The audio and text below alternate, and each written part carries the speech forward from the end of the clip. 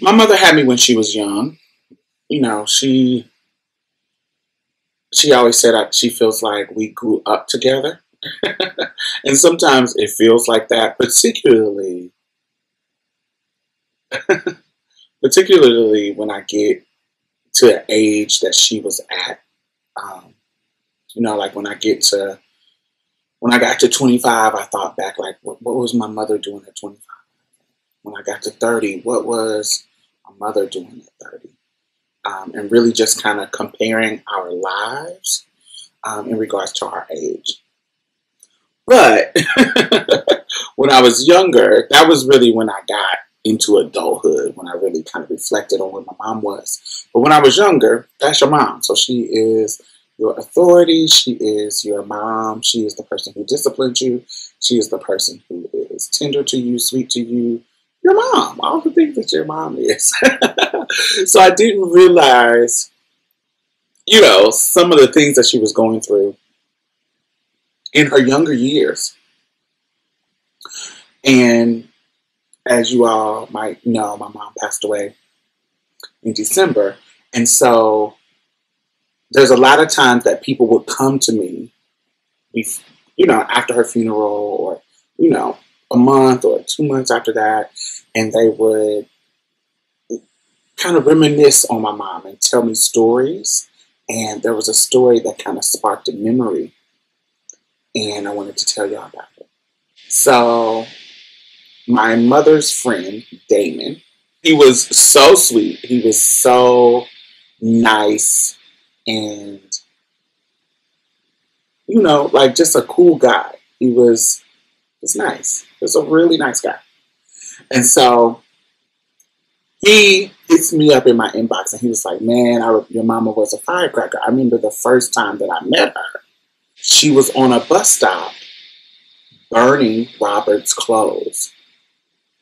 Now, this was hilarious to me because Robert is my youngest brother's father. Robert is also the first, I want to say my first, I don't know. It, he's the first adult man that I was attracted to. I guess that's what you can, yeah. First adult man that I felt some type of, you know, attracted to. And he's my youngest brother's father. And when he says that she was burning his clothes, it was hilarious because baby Robertson, my mother threw it through all kinds of mess.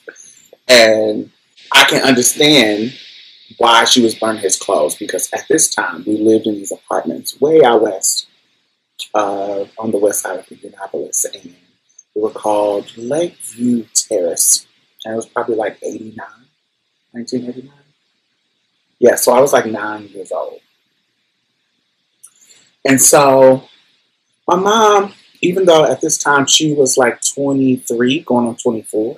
So think about a 23 year old girl with two children. Um, and she's actually pregnant with her last one, her third at this time. Yes.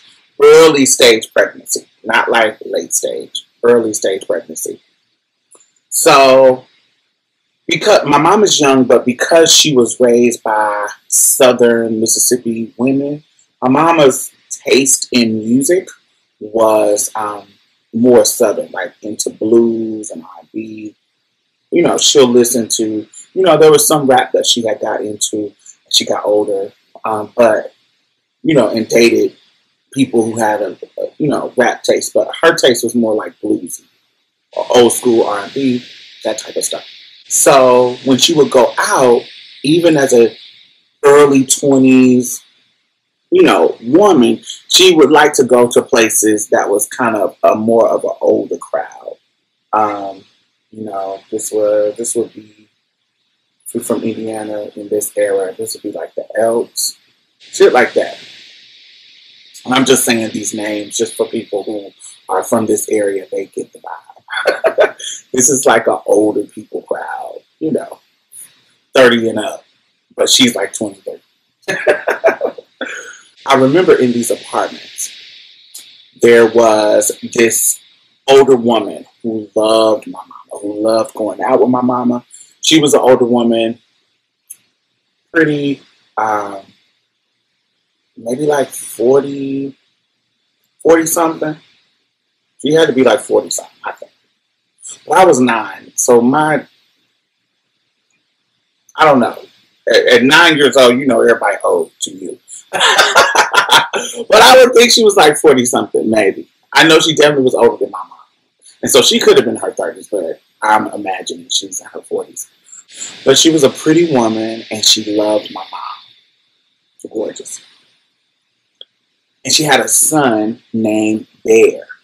Bear was about 15 years old, chocolate boy, tall, um, always helped my mom.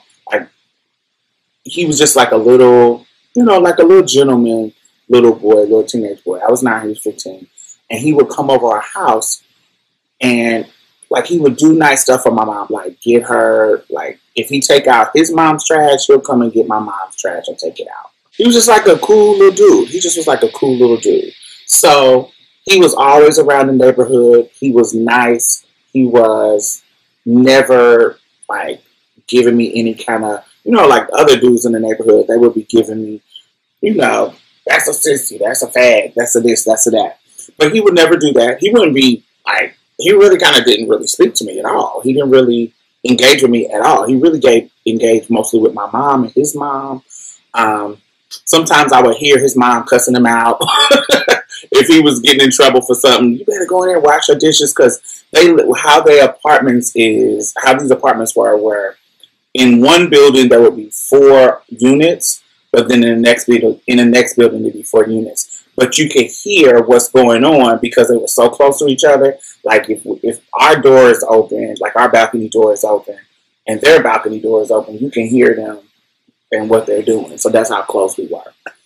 And so you would hear her, you better come in here and wash these motherfucking dishes and da, da, da, and going off. Same thing my mama would be doing for whatever reason. She would be doing, you know, going off too about something. Um, I was a loner child. I didn't, because of, by this time, you know, around 9, 19, I was 9 at this time, but, you know, around this time, my queerness had been really, really established. like I knew that I liked boys. I knew that um, I hadn't had sex or anything like that, but I knew that I was different than other kids, and that I wouldn't forget it, and they wouldn't let me forget it. so this is when I was. This is the time of my life when I was kind of being more unnaturally timid um, unnaturally antisocial, unnaturally quiet because I was a precocious, talkative, social child. But once my femininity started to blossom or it started to social socially be a very, very distinct thing that people noticed, it started to isolate me. It started to make people bully me it started to make um, girls treat me different in a way. It started to make adults treat me different in a, in a way. Everything started to change in how I was. I went from being this person, this little person that was praised for being bright. I was, uh, everybody considered me a bright child, um, intellectually bright, um, but also bright as in colorism too. so there was a it went from a uh, pleasurable experience, them being nice to me, being cool, all these kind of things, to being shitty and trying to control, um, try to snuff the femininity out of me. Um, doing things to make me more masculine. Uncles was punching me to make me toughen up and um, forcing me to fight people who I didn't want to fight you know, calling out, don't be switching, anything that would, and if, if some people was more direct and more violent and more, you know, like my uncles, they were more violent, punching you. But then, you know, like my mom, she was never mean. She just would be like, well, it's not that. It would be, previously, my mother thought it was cute my mother thought the feminine stuff was cute. Like when I was like around, you know, six and seven, it was, ooh, do that dance. Ooh, do that, um, do that, um. I remember, I think I, I talked about this before. Um, the movie Sparkle, giving him something he can feel. I would wrap the towel around here and wrap like a uh, either the towel around my head or put the put my head in the hole of a t-shirt and and hang it down. Where it's like my hair and honey and I'll pull it to one side. Giving him something he can feel. And I would do that part from Sparkle. To let him know this love is real and my mother would, if there was some company over, she would say, "Do that, do sparkle, do sparkle," and they would laugh, and it would be funny, and it would be, "Oh, he's silly." It, it would be cute. Once I became like nine, ten, once the teen, tween years started to happen, it wasn't cute anymore, and people were um, policing it way more harshly. Um, so, sometimes it was subtle. Like I said, my mom would be more subtle, not violent. Um, like, oh, don't do that. Uh-uh. Teachers would make little slick little comments, not any kind of bullying from them, but very slick um, micro queer microaggressions. In school, kids were kind of extra. You know, I hope I'm explaining it right. It just started to change. Anybody who experienced this, you would kind of know it just started to change from being I'm a nice little kid to mm, getting a little gay. So let's let's stop. and so at this time, I was hanging out with this girl named Erica. And Erica had a brother. They had video games like I did.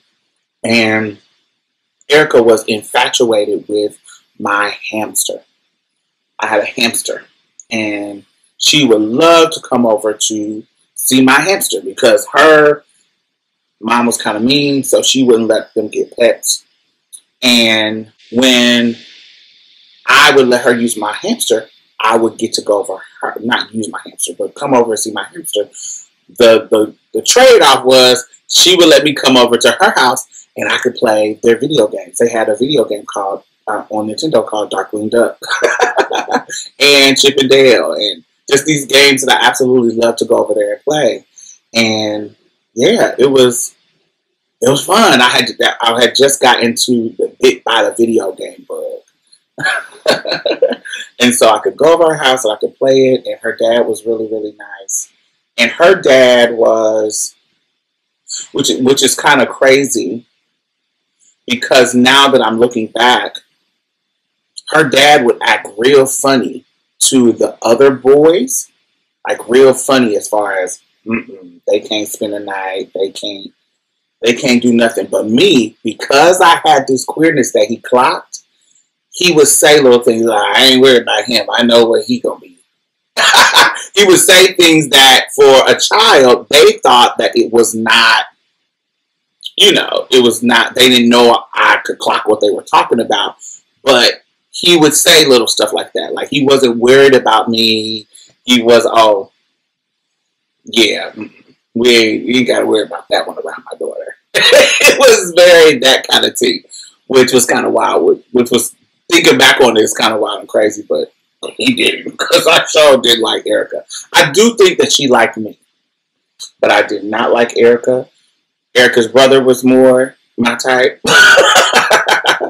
and um, but Erica's brother, because I was queer acting, he'd be like, he'd be acting weird and antisocial. So I just came over to play video games, and that's what, it that's what it was. So my mother had found out that she was pregnant. Mother had found out she was pregnant, and so during this time, she's like, yo, I'm about to start going out to the club because her and her baby daddy, my, my little brother's father, was kind of like, you know, young love off and on. They were together, but then they would get into it. She would put them out and all this kind of stuff. You feel what I'm saying? So, but she like, yo, before I get all big and pregnant and you know big and can't go out to the club, I'm about to ha- use this. Um, I'm about to use this to have some fun. You feel what I'm saying? She was like, I think it was around winter time. Around winter time, so she was like, I'm all big and pregnant, so I'm about to. Be, I mean, before I get big and pregnant, I'm about to use this winter time to really be out and have fun and go to the club before I get all big and pregnant. so, our neighbor, the older, um, cute um, the older cute woman next door, she was like, "Yeah, child, come on, let's let's go out. Let's um, you know what?"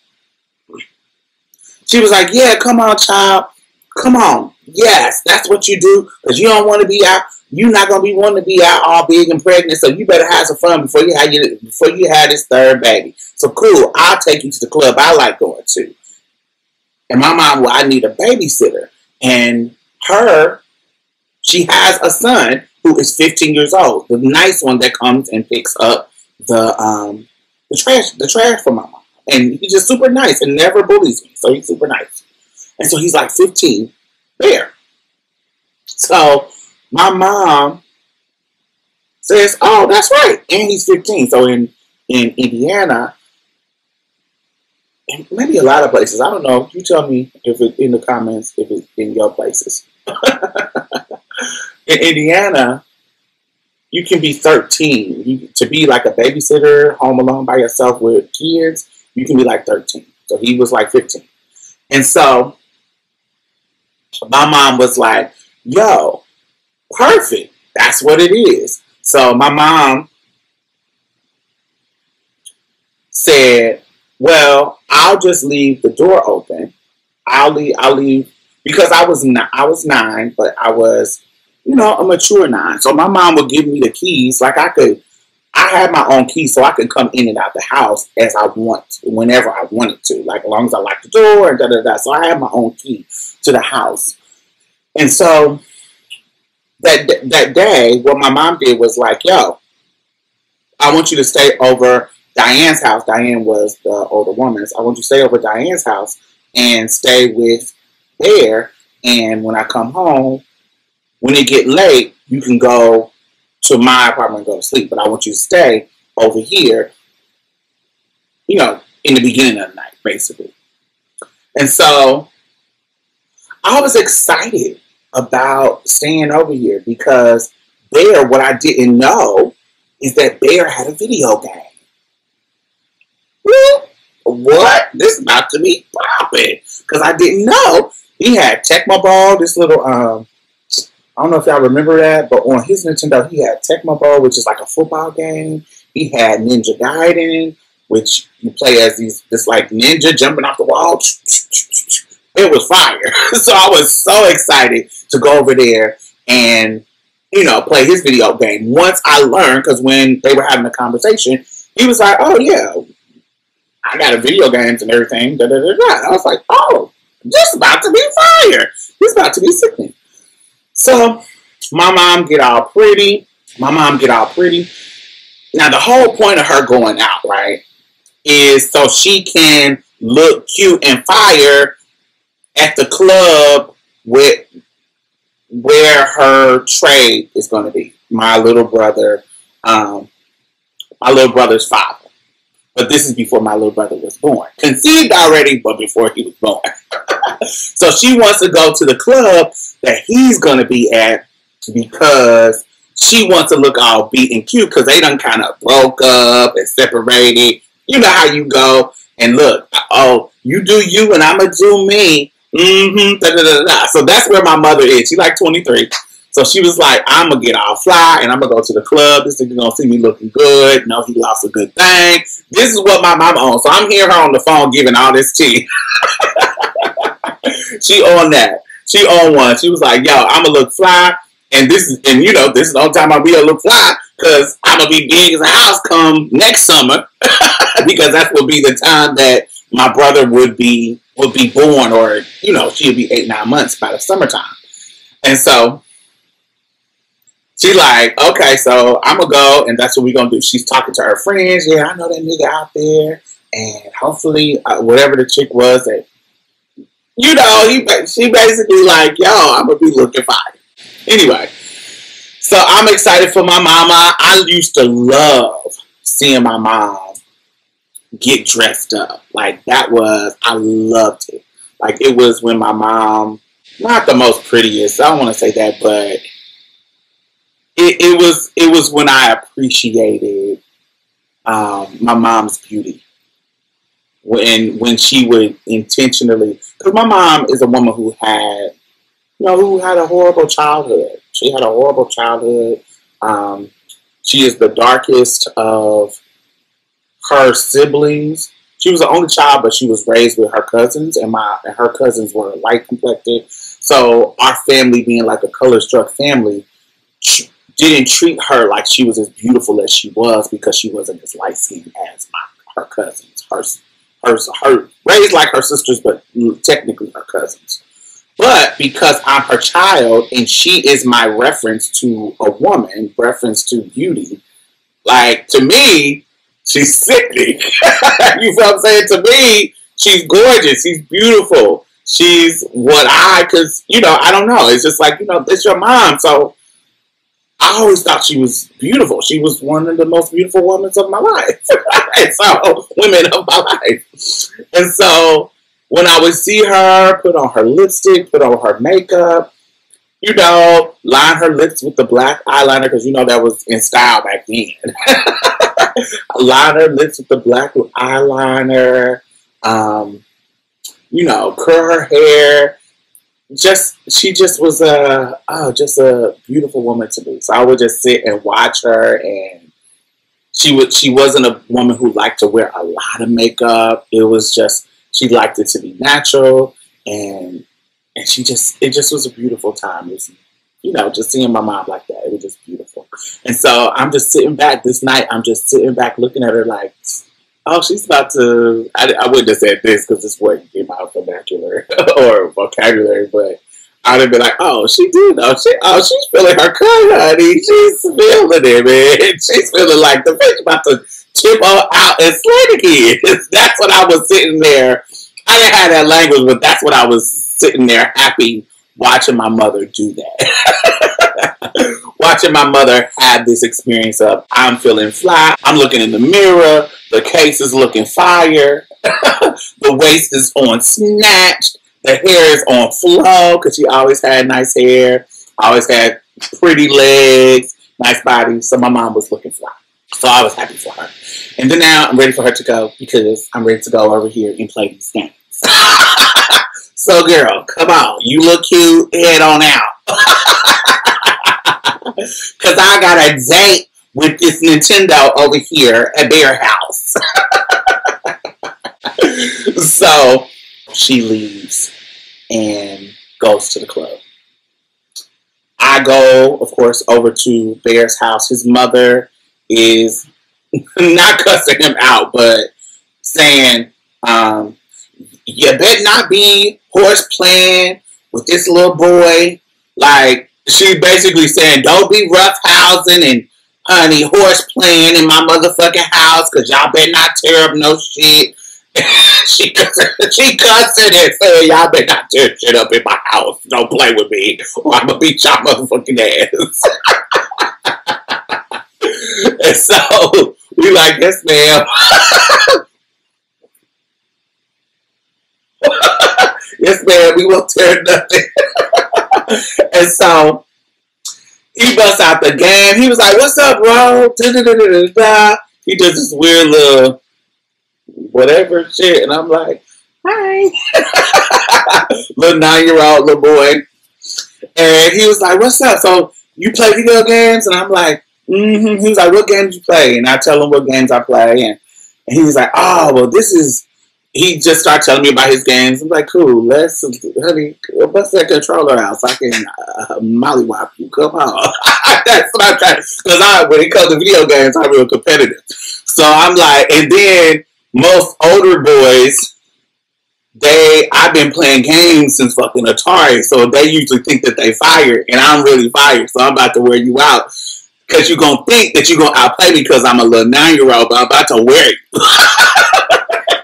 so he's like, all right, all right, cool. So he hands me the controller, smoking this motherfucking ass because I had already knew how to play Ninja Gaiden, already knew how to play um Tecmo Bowl, little tricks and secrets that my that my stepdad had fucking taught me. So I'm like, ah, we about to wear this out. So I'm wearing him out.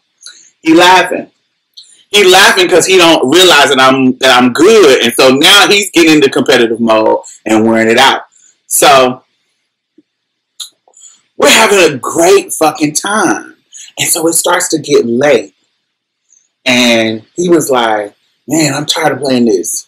Do you want to play Truth or Dare?" I was like, "What's that? I never heard of that." And he was like, "Truth or Dare," and I was like, "Oh, I ain't never, heard, I don't, I never heard of that. What's the game? Is that? How do you play that?" He was, he grabbed the controller, my controller, and his controller, and put it down. So this is how you play. If it's my turn, you ask me truth or dare, and I get to say truth or dare, and you got to ask me a question where I got to tell you the 100% truth. If I lie, you get to frog me in my arm. And then if I say dare, you get to tell me to do something. And if I don't do it, you get to frog me in my arm. And I'm like, okay. And then when it's your turn, the opposite. I ask you truth or dare, and you tell you the truth. You say truth. I gotta ask you something that you tell the truth on, and I, and I gotta dare you something if you say dare. And I was like, okay, I never played this before, but it's okay. I don't understand why this at the time that I'm nine, I don't understand how this is gonna be fun. But all right, I'll play. you know. And so he says, "All right, you go first. So truth or dare?" And I say, mm, "Truth." And so he asks me a question, and I say, I say whatever the answer to the question is, and and he was like, "All right, I believe you. I think that's the truth." And I was like, all right, you truth or dare. And he says truth. And I say, oh, okay. Um, have you ever, what did I say? I don't know. I just asked him something. You know how truth or dare works. We just asking each other back and forth. So it got to the point where when he asked me, I said, I, I said dare.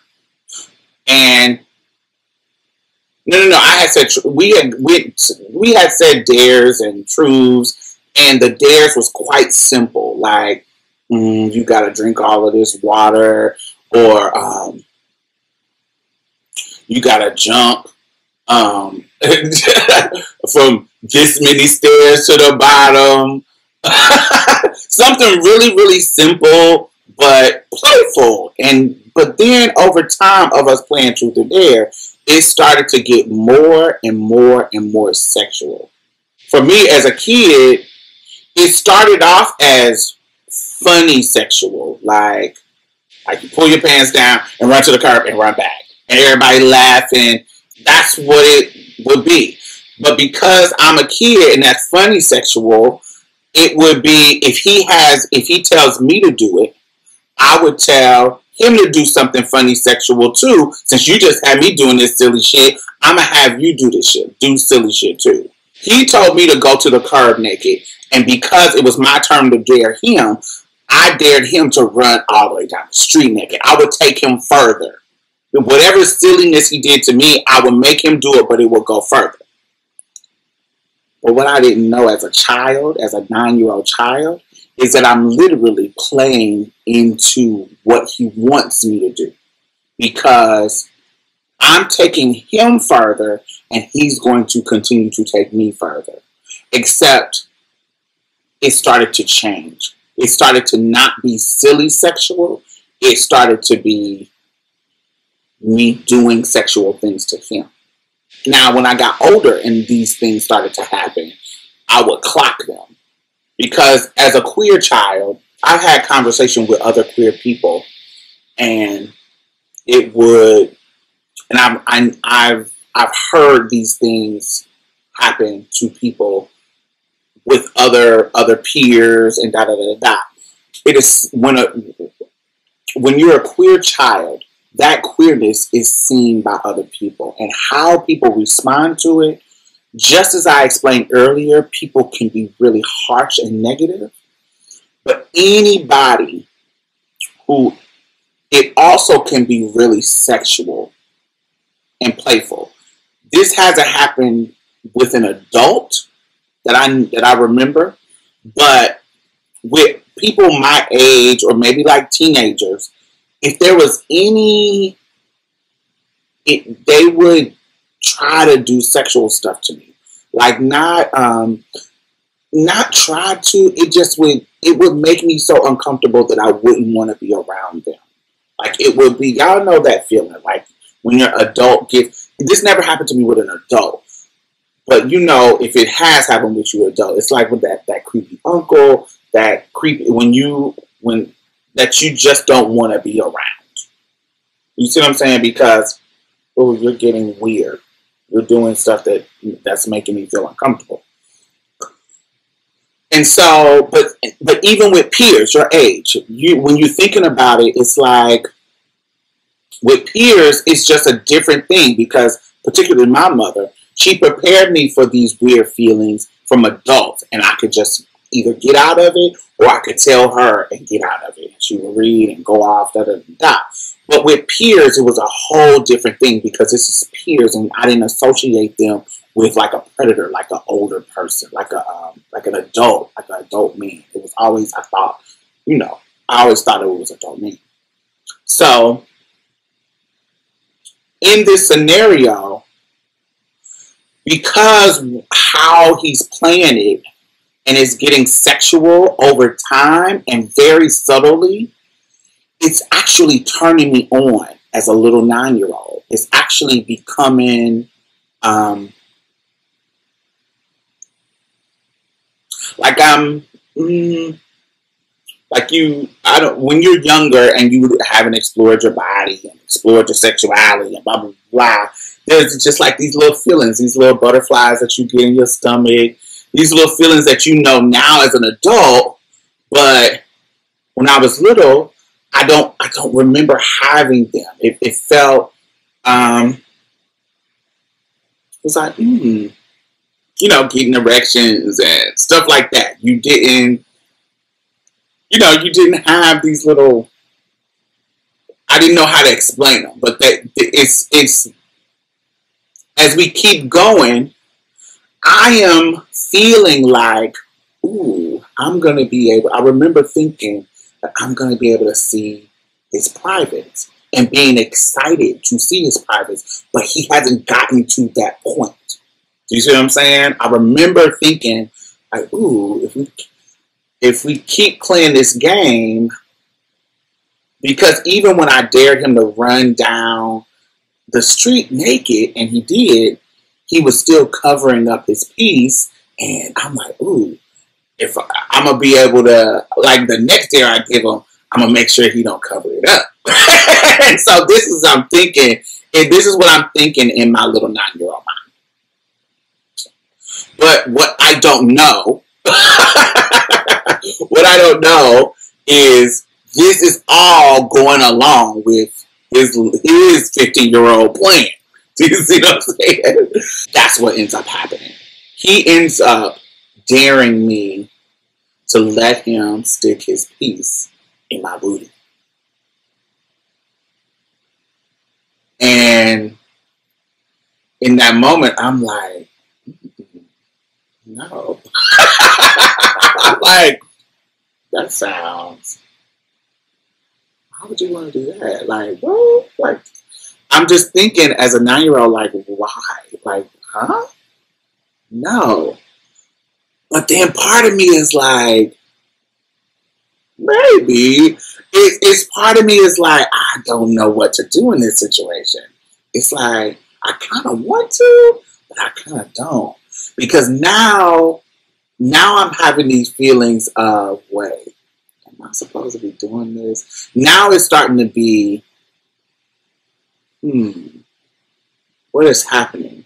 Now I'm clocking. Now I'm starting to clock it. Now I'm starting to feel some shame around it. Like, oh, if I do this, is this gay?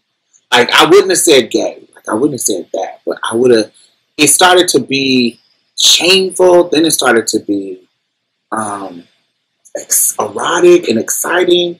And it just was like this amalgamation of, of feelings of, of being turned on, being shamed, being like, what do I need to be ashamed about? He's asking me to do it. Is this gonna like? Is he is he doing this because he think I'm gay? Is he doing this because he's clocking my queerness? Like, whoa, like what's? Because now I'm feeling that this is not. This was a planned thing. So now I'm like, oh, I'm in this web. like, oh shit, I'm stuck on this web now.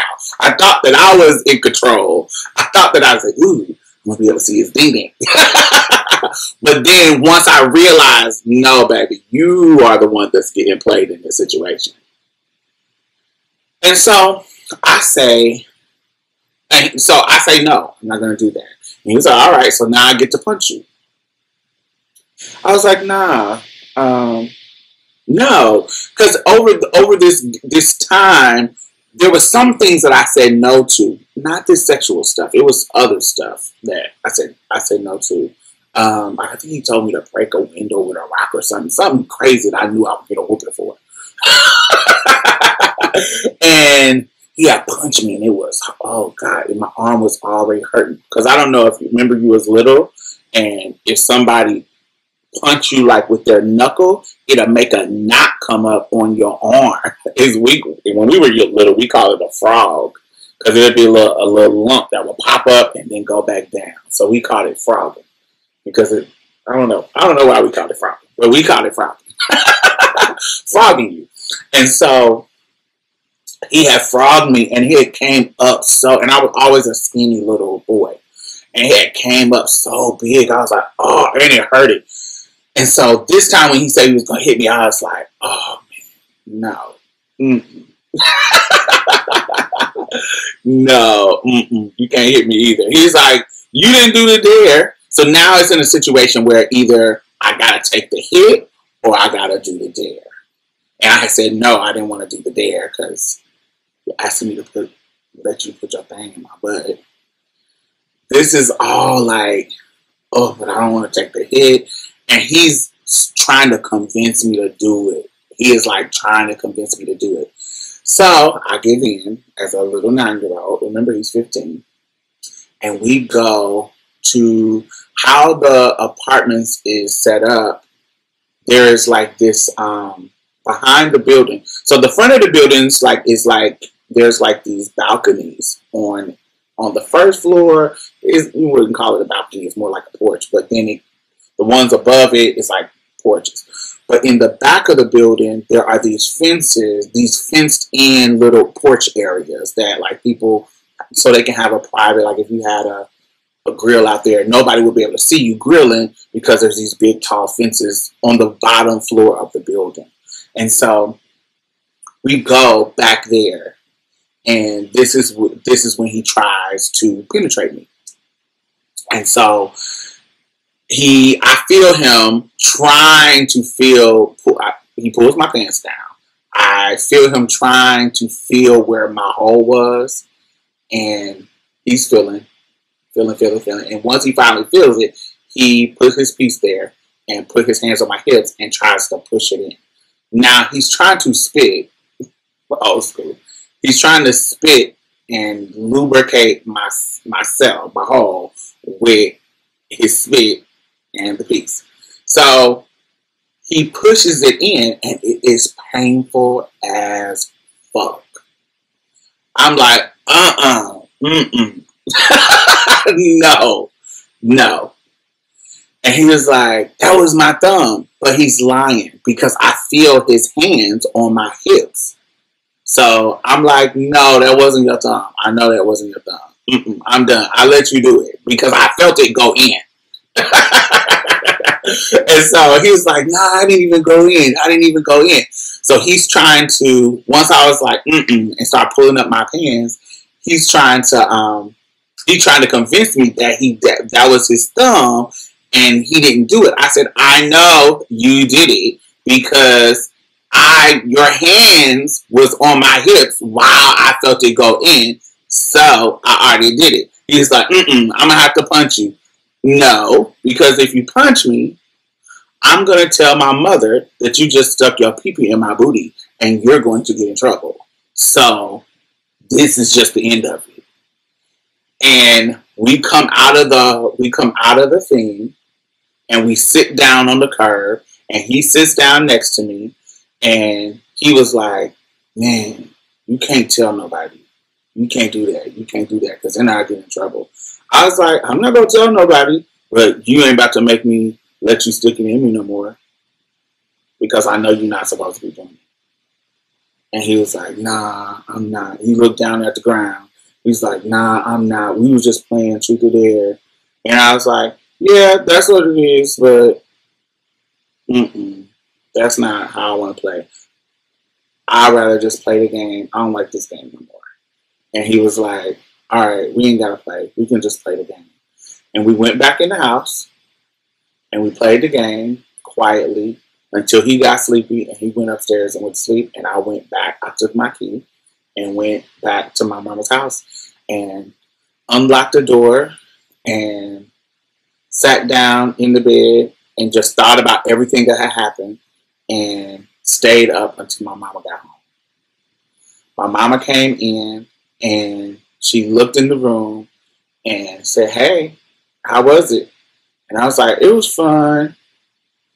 And she was like, what y'all do all night? What you eat? And I told her that he had fixed us some um, some sandwiches and some chips.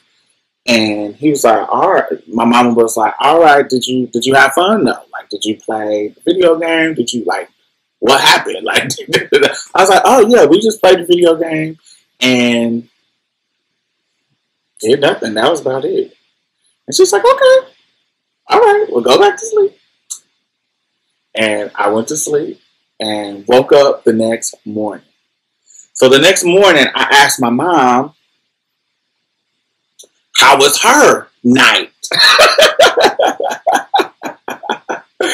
and she's in her robe. She got this um this pretty ass like little blue robe. She had, you know, it's it's like afternoon, probably like eleven, and she's like, she was like, oh, it was fun. I had a good time, and we just talking and just she had cooked us cooked breakfast, and we sitting there eating. And I told her that I wanted to get the video game that we were playing over Bear's house, which is Ninja Ninja Gaiden, because that's the same game that Robert had. But because they had broke up, Robert had took some of his games to where he was staying at temporarily until he came back to the house, uh, to our house. So I was like, I think I wanted her to buy me my own game. So if she kicked Robert out, I could have my own. so it was a great little fun little morning. And all all of a sudden, it's a knock on the door. And so I come to the door and I answer, who is it? And it was some dude. And so I, op- I open the door and this dude when I look at him, he looks like like he is visibly a gay boy. Like like you know, even though I'm young, I know what a gay boy look like. Like I know what a gay boy look like, and this is a gay boy. Like he's feminine, tight clothes, makeup, a gay boy, like a butch queen. And so I'm like, I'm gagged because I my mama don't got no gay friends. my mom is a, a homophobe. and so this gay boy coming to the door is gagging me. Like, what is happening? Like, oh, and I, and he says, "Is Deanna here?" And my nine-year-old self says, "Yes." One second, Mama. And my mother comes out of the dining room and around the corner to the door, and my mother has on a robe, and she says, Hey, how may I help you? And my mother tries to cover up my face because I'm gagging at this being a gay boy. I'm gagging. So my mother tries to push me like behind her because I'm not as, at this point, I'm not as tall as my mom. I think I'm probably like, mom's like five two. I had to be like four or something, like four eleven or so. I don't know. And so I'm not. No, no, no. I can't be that tall. Uh, anyway, I'm probably to my mom's shoulder. And so she pushed me to the back of her because I, my eyes are gagging at this gay boy. And my mother's like, How may I help you? Hey, how are you? And the gay boy said, Do you know Robert? And she was like, Yes. Why? And he was like, The gay boy says, Well, I know Robert too, and you might want to go to Bellflower.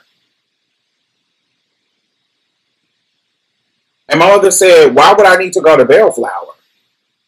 Now, Bellflower is a free health clinic that you go get STDs checks at. And so when my mama asked him, Why does she need to go to Bellflower? And who are you? Why would you say that? He says, Just go to Bellflower, Miss Thing, and walk down the walk down the steps out to the car and drove off. So, as a little nine year old, I don't know. I don't know the context of anything that's happening. So I don't know. I knew. I know. I knew what bellflower was, and I knew it had something to do with STDs. We didn't call them STDs though. I don't know what we called it back then, but I I knew bellflower was the joke among the adults about getting a disease.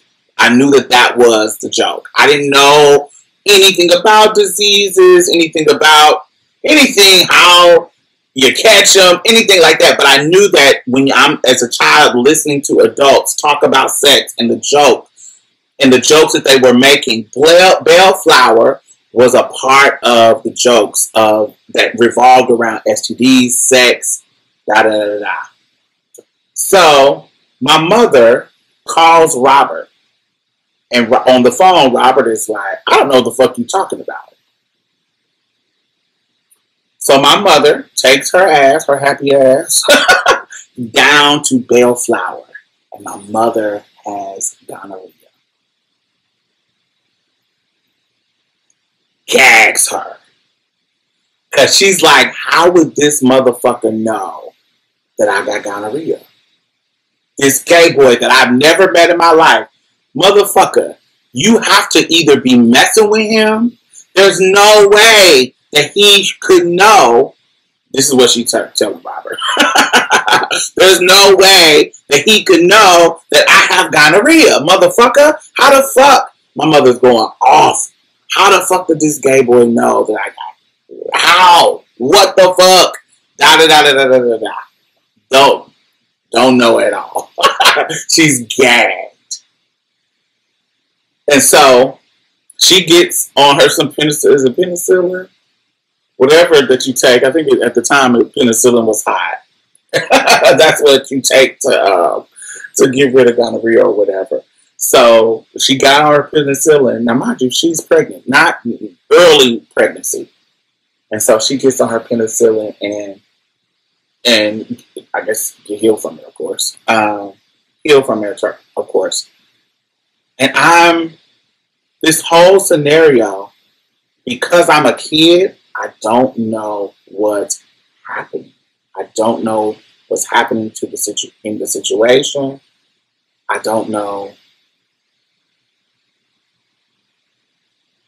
I just know that this gay boy came through the door and told my mom to go to Bellflower, and she did, and she had something. And my mother fell out with Robert.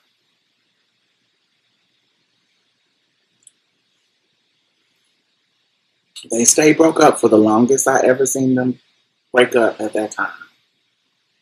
But that was the first time that I had been in any kind of situation with anal. And it led to my aversion to anal sex for a long time. I didn't have sex, actual penetra- penetrative sex, until I was like 16. I was nine at this time. So I had opportunities in between 9 and 16 with my peers to do stuff like that, but I had an aversion to anal sex because of the situation with Bear. And then this is also the first time that I was introduced to sexually transmitted diseases when it comes to you and your partner, just in relation, not to me. I wasn't, I didn't get STD, but my mom did, and her conversations that she was having with adults and how that situation transpired. Not only am I having this is my first inkling of a STD conversation, sex education conversation. This is also my first inkling that I will learn later about the trade. Because I didn't know what the trade was. But I knew that gay boy knew something that I didn't even know about my stepdaddy. The trade.